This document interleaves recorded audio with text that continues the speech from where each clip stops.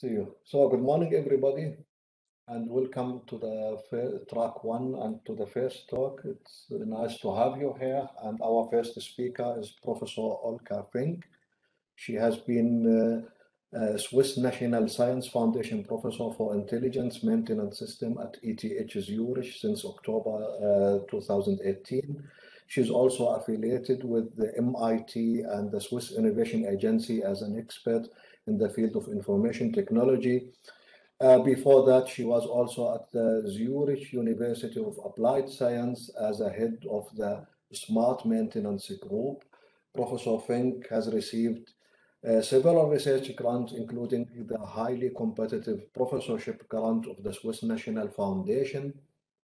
And in her research field, uh, some of her research field is the hybrid algorithm, fusion of physical performance models and deep learning algorithms, uh, transfer learning, self-supervised uh, learning, and many other things. And today she will uh, uh, tell us about integrating deep learning algorithm with structural inductive bias and physics. So Professor Fink, please go ahead.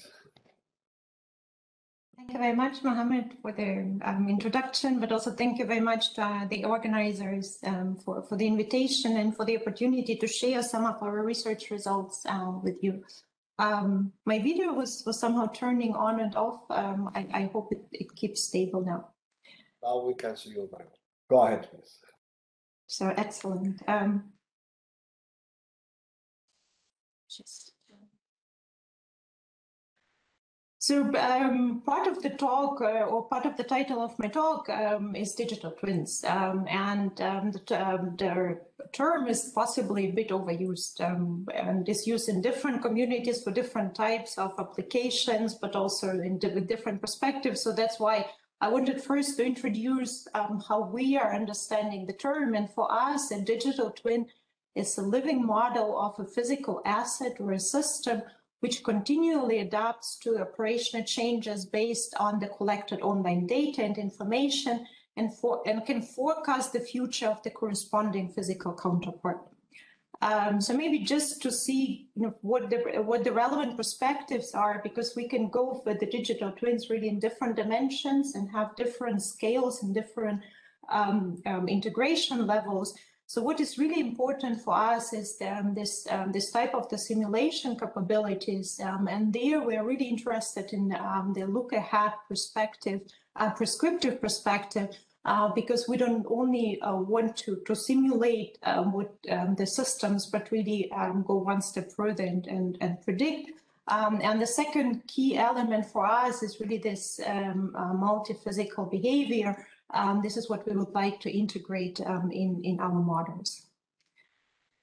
Um, and also before we start, just to emphasize what we're really interested in. So our goal is um, on the one hand to detect um, faults or to detect anomalies, but then not only to detect them, but to be able to distinguish what are the different fault types, um, and finally, our goal is uh, not just to detect or, or, to early predict, but really predict the, um, the evolution of the health condition over time and predict what is the remaining useful life of the systems. Um, so that part is the prognostics part, um, and this is what I am going to start with, but I will also show you a part of the diagnostics part. So um, detection is rather um, or, or, this one can be solved possibly even without complex physical behaviors, um, but particularly for prognostics, this is where we are lacking um, the prediction capabilities, um, where we're just going purely data-driven. Um, and as already indicated in the title of the talk, um, our goal is not just to use data to develop the, the, digital twins or our, our models, but also to integrate physics in it. And um, depending on where we are in the scala, so on the one hand, we can have small data. Um, on the other hand, we can also have um, kind of big data. And we, we, um, we can also know lots of physics, um, or we, we cannot have, know anything about the system that we're actually considering. Um, so depending on where we are in this continuum uh, with these two dimensions, on the one hand with physics and on the other hand with data, we can combine the two and let the two benefit from each other. Um, so what, what we are um, typically assuming is um, that we are, um, or, or, currently for the example that I will be showing you, uh, we, we are assuming that we know lots of physics um, and we know some data. So it's, it's kind of this direction. Uh, but um, what you also see, we, we typically lack labels. So that is one of the challenges um, that we are facing. So uh, we are particularly in this regime. And when we start integrating physics with data, there are different ways on how we can do that. Um, and this is where we're trying to integrate bias in our models. And there are different ways, again, how to do that.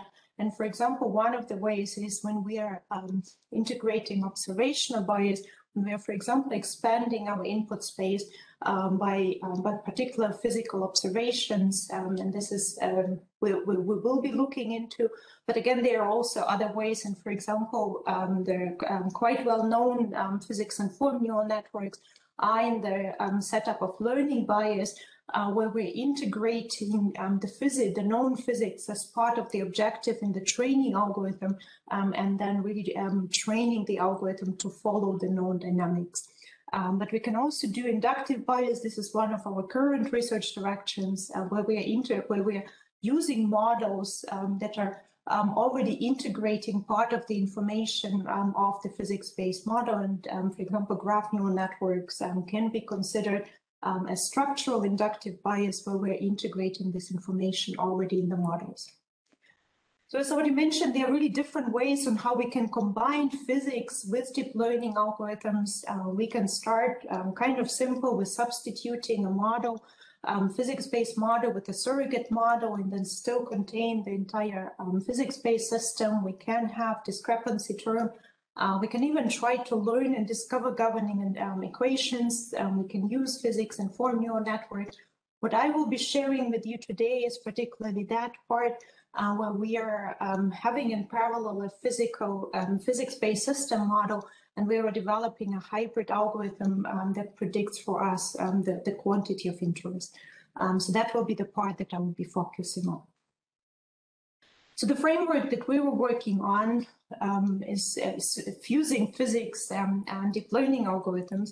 And what we typically assume um, in this framework is um, that on the one hand, we have a real process, and this real process is monitored by sensors. So we have sensor readings in real time. And on the other hand, we have access to a physics-based system model that is typically hierarchical, where we have some components that are aggregated at higher level. And what we are then doing is we're using the information um, contained in the sensors or, or the sensor information to calibrate our physics-based model.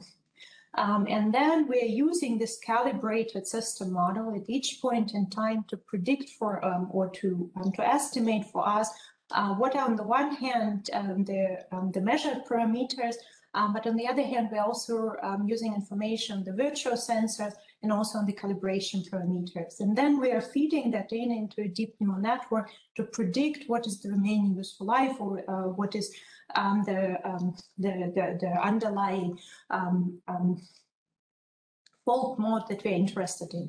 So that's um, the, the, the, general setup. And, and just to, um, to, to, to, deepen a bit um, the perspective, um, so uh, while we are interested in predicting the remaining useful life, and we are assuming that we have physics-based models. And um, an assumption could be, or um, interpretation, that we could possibly have um, access to some uh, models that are modeling for us the degradation. However, this is typically not accessible for complex systems. Um, so this part, when we are able to model the degradation mechanism, is particularly available for rather simpler systems where we have a deep understanding um, on how um, different processes are actually uh, impacting um, the system behavior and, and really are able to model this at different degrees uh, of granular, uh, granularity. However, what we are now looking into, uh, we are not assuming that we have a physics-based degradation mechanisms that we are able to, to model, but rather that we are able to model the smart macro level impact of the degradation mechanisms on our performance model, on the performance of the system. So we are assuming that we are not able to, to model the degradation, however, we're able to, uh, um, to have access to a physics-based model with which we can actually monitor what the impact of this um, of the different faults is on the performance of the systems. Um, so this is also why we are not, um, even if we wanted to substitute our hybrid models with pure physics-based algorithms, We are not able to do that because we, are, we don't have direct access to this degradation. We are only indirectly learning it. Um, so this is opposite to the, to the left part, uh, where we may have um, may be able to substitute it by degradation model. Um, so let's dive in into um, a bit more detail. So we were particularly um, looking um, into um, turbofan engines um, and we're aiming to estimate the remaining useful life of the component. And typically what we assume is that we have some access to previous behavior of those engines and then we are using this information to predict the remaining useful life uh, plus, we have um, the information on the engine data and the information on the operating conditions. Um, and even if we, um, even if at the beginning all of the engines um, behavior and health estimation may look um, quite similar, um, depending on how they're operating uh, operated, they may degrade in very different uh, way or in many different many different conditions. So this is why we really need to track this behavior um, and and to monitor at this at the at the level of a specific component of the specific um, turbofan engine. So as already um, introduced at the beginning, uh, we, um, we assume that we have a system model, uh, we have a real process, then we are using um, the operation parameters as input to our calibration model, um, um, to our system model, and then we are calibrating the system model. And what we get out of this um, system model is, on the one hand, the estimated um, um, observations, um, and this is how we're actually denoising our signals as well. Um, on the other hand, we get access um, to virtual sensors that are not captured by the real process. Um, and what we are using on top as an input um, are um, the calibration parameters that are actually quite informative um, of the degradation condition of the system condition of, of the turbofan engine. Um, so we have three components that we feed in. So it's the, um, the process parameter measurements, um, I'll noise version of them, um, then the virtual sensors that are um, inferred by the system model, and additionally the calibration parameters that are again part of our system model. Then we feed it in into our um, deep neural network and predict the remaining useful life. Um, so we uh, we evaluated it on a case study um, of, of turbofan engines, and here is uh, where we collaborated with NASA, who had actually, um, who actually developed um, this commercial modular aero propulsion system simulator. Um, and for those of you who are familiar with the field of prognostics, um, there have been for a long period of time the C-MAPSS dataset um, that was really used um, for quite a while as a benchmark data set. So we recently released a new data set that is um, that is larger, but also that is supposed to be um, more um, adapted to the real conditions. For example, we used um, real flight conditions from a commercial flight uh, from the NASA Dashlink, so to make the behavior more more resembling more the, the, the real behavior. Um, so for this case study, we, um, we used um, uh, nine turbofan engines, um, and six of them we used um, as a training data set, and three we used um, for testing. so this is just one, one flight envelope that you see here. Uh, we had two failure modes. on the one hand, the HPT degradation, and for the second one, it was HPT and LPT flow and efficiency degradation. Um, and uh, we had, um, so now you see um, kind of squeezed in the, um, the different flight envelopes. Um, so um, all the all the engines were flown until the, the, the, the, end of life. and then three were used for prediction. so that's just a short overview of the um, um, estimated of the simulated flight envelopes. Um, and, and just a message um, that you see here, so um, the three last units were used as a testing data set, so it's 11, 14, and 15. Um, and one of the units was uh, was really behaving quite similarly or was operated quite similarly to those used for training.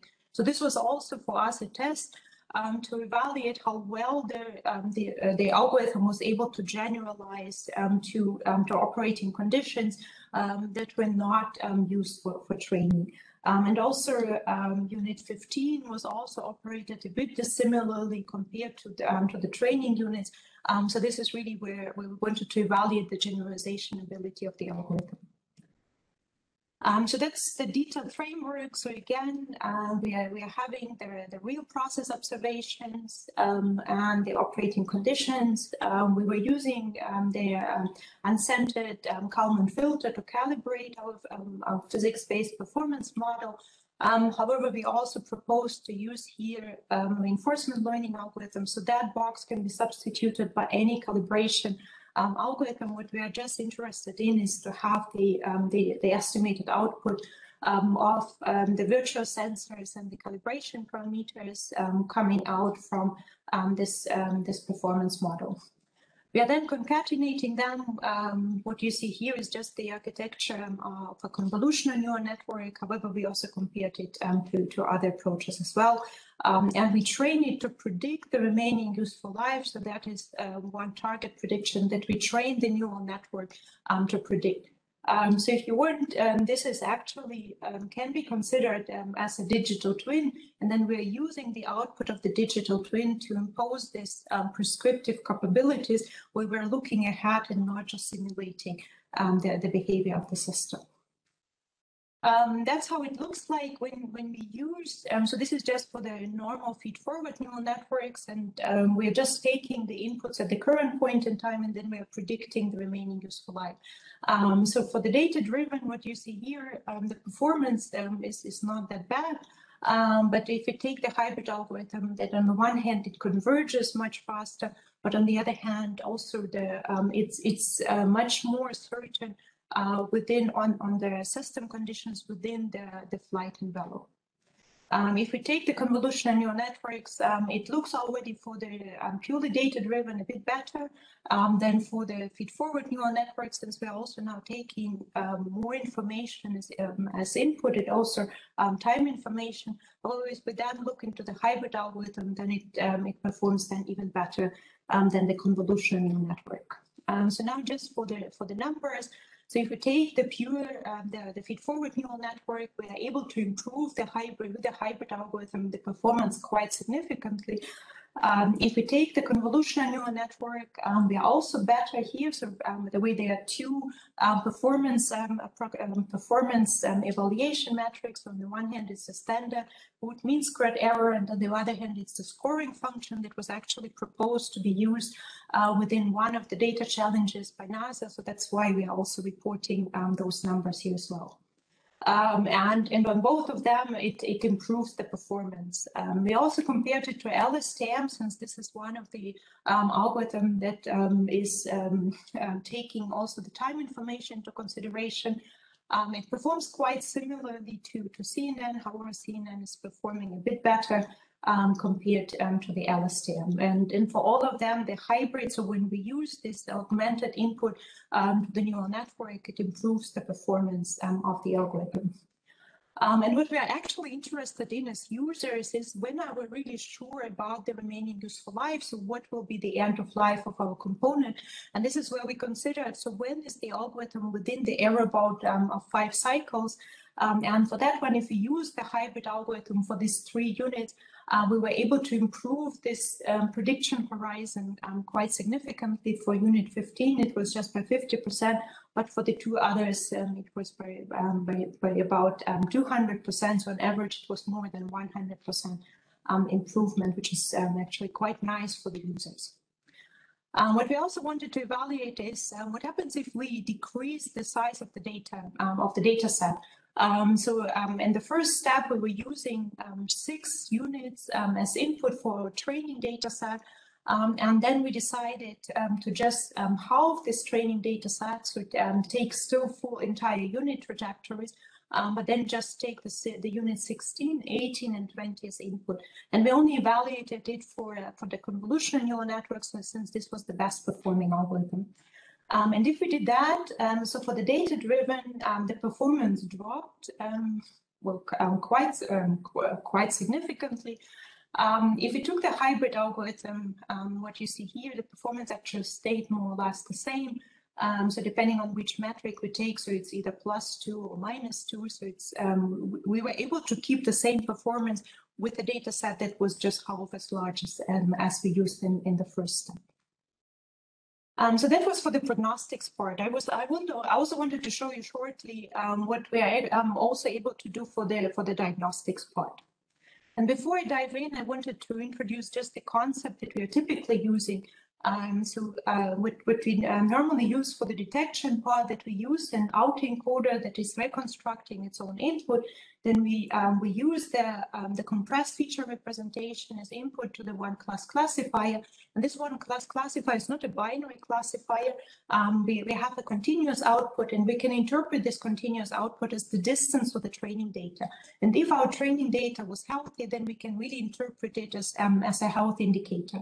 And once we detected something, uh, we can actually go back um, to this um, to the autoencoder and then we can use the reconstruction errors so the residuals um, of the output of, um, of our in, um, reconstructed input.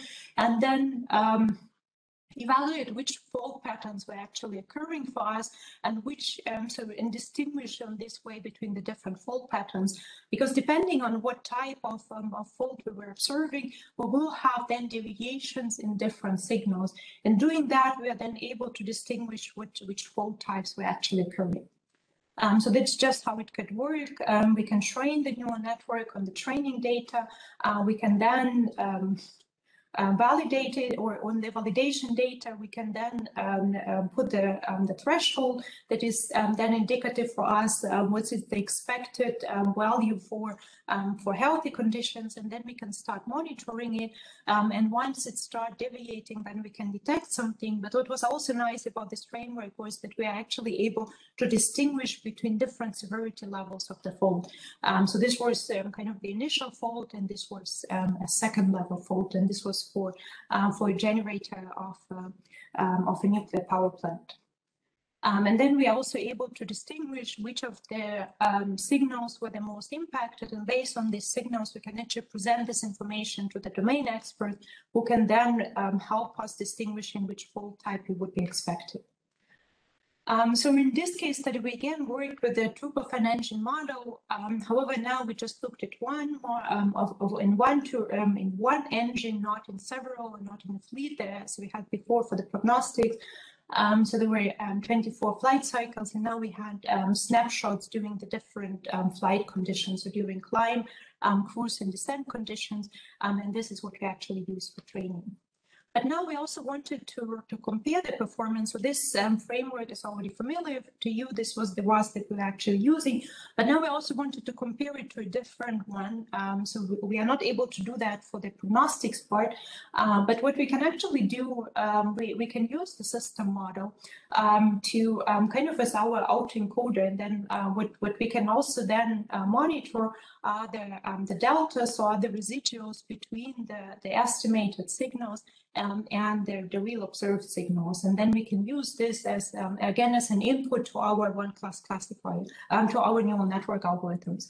Um, so it's quite similar concept. However, now uh, we, we're not using the, the model calibration. We are not using the virtual sensors here.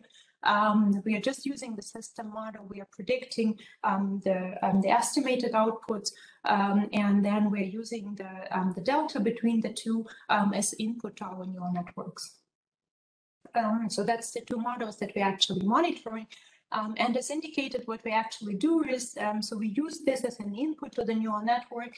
Uh, we then um, develop an autoencoder. We take the, um, the compressed um, latent input space and this input to the one class classifier, and then monitor the one class classifier. Once we detect something, we then evaluate um, the, um, the residuals um, from the um, from the predicted signals here, and then um, this way we isolate the signal, the the fault types.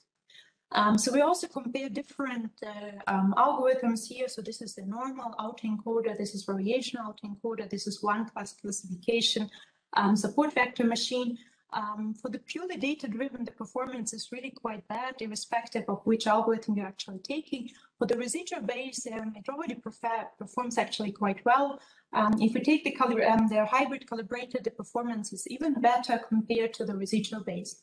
Um, but I will show you just in a, in, in, in a minute uh, where actually the difference comes in. Um, but we also wanted to, um, to, to treat the data-driven algorithms also fairly. What we did was, um, so when um, the data-driven algorithm actually struggle quite a lot when there's a high diversity in the input data. Um, and so what we did was split actually the different operating conditions, and then we just took those uh, with the with the high altitude values, and then we trained the model based on it. Um, and what we then um, observed was um, then if we did it um, in this way, uh, sorry, um, if we did it in this way, then the performance really improved actually quite significantly. So this is where we took all the data and this is where we um, kind of just took those um, with a high altitude um, and then the data became more homogeneous and this is where the data-driven uh, models also started performing better. Um, however, the hybrid were also able to perform in this um, heterogeneous data regime also already quite well. And this is now where the difference actually comes in, um, because we're not only interested in detecting, we're also interested in distinguishing between the different fault types. Um, and if we just took the data-driven algorithm, um, so um, these were the isolated signals that the algorithm was providing us as an input, um, as output. Um, so it already indicates for us what, what the fault type would actually be. for the hybrid algorithm, it could pinpoint it actually quite precisely, for the residual base, unfortunately, there was quite a spillover um, over the different um, residual signals. Um, so it was indicating it a bit, but it, there was also a spillover. Um, but where, where, where, the real difference was actually uh, really was, um, so for the data-driven one, it waited or it took it quite a while um, to have a high intensity of the fold to be able to distinguish between the, the different residuals. And the hybrid was actually um, already providing very good um, uh, isolation performance, um, even with, um, with very low intensity um, of the faults. Um, so just to wrap up, um, we are able to improve on the one hand um, the performance of the algorithms. And what I was also showing you is that we are able to reduce the amount of training data that we're using um, we're also able to improve the generalization ability. So for example, for cases where the systems were uh, performing um, uh, quite or we operated quite in quite a similar ways, um, but also improve the transferability of the models within the fleet um, and improve the transferability. Uh, and with that, I actually wanted to show you also um, kind of some glimpses on what we are currently working on, but um, I would also like to leave some some time for, for one or two questions, hopefully. Um, and then um, I'll give over to Mohammed then. Thank you very much for the very interesting talk. Uh, I really enjoyed it. So uh, we have a few questions, so I hope we can do it in the five minutes now. so the first one from uh, Michael Malone. Uh, prediction accuracy metrics for RE time series are often misleading, uh, given un substantiated confidence in the model prediction. How did you verify your prediction to real life behavior? Um, well, actually, um, I, I, can answer two answers to that. So um, we were only using um, simulated data for this case. Um, so while we were using real operational conditions, um, so on the the the model, so so this was just simulated data. However, you're, you're absolutely right that point predictions are actually, particularly for our for remaining useful life and for prognostics, are, are not the best um, prediction estimator.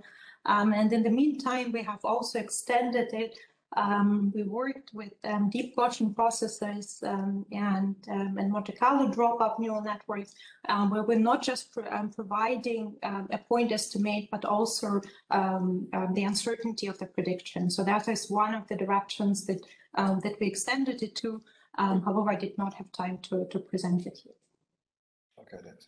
Uh, another question, what are the, uh, from Ralph Steinhagen, what are the options for online, offline, or extrapolatory based learning algorithm for system where a precise physical model doesn't exist or too complex uh, to be modeled efficiently? What would be a good strategy for that?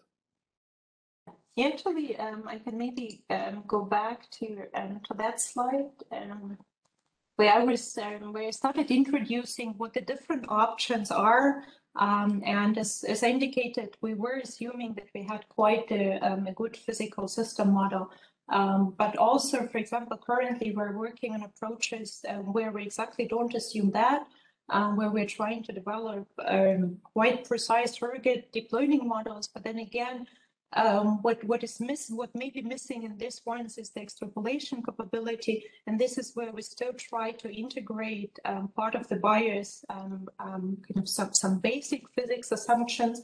Um, and this is where um, this part can actually come in. Uh, because really one of the challenges, if we have um, a sim or a simulator, or a digital twin, what we actually expect it to do is to also behave well or to, to have good prediction outside the training data set. And this is what, uh, what is typically quite challenging. Um, however, if we integrate part of the um, inductive bias um, or, or learning bias, this is where the models can also extrapolate a bit better and, and behave better in regions where we did not have much training data.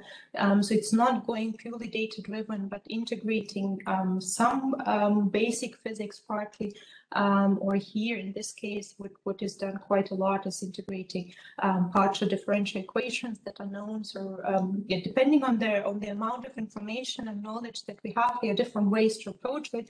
Um, and, and to substitute um, those pure physics-based models also to um, by, by deploying algorithms that are induced by with physics-based behaviors. Thank you very much. Uh, a very fast question. Uh, are these frameworks available uh, as open source or? Um, uh, one of the challenges is that uh, the NASA model is not available open source um, because this was uh, this is proprietary.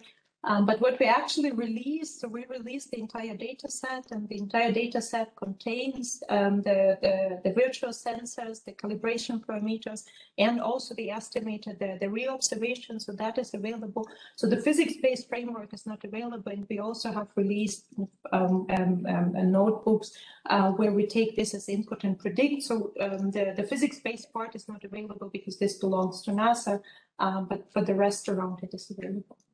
So in fact, there is still a lot of questions, but unfortunately we cannot take all of them.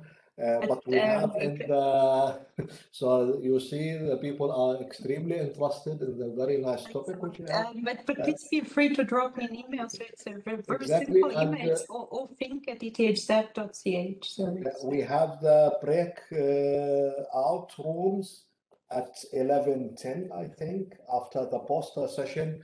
It would be great if you are available there and then we can continue with the question and the discussion. I'll be there. Uh, eleven ten, I- I'll be, I'm not Thank sure. you very much. Okay, thanks a lot, for sharing it, Thank you very thanks a lot much. It for. was a great talk.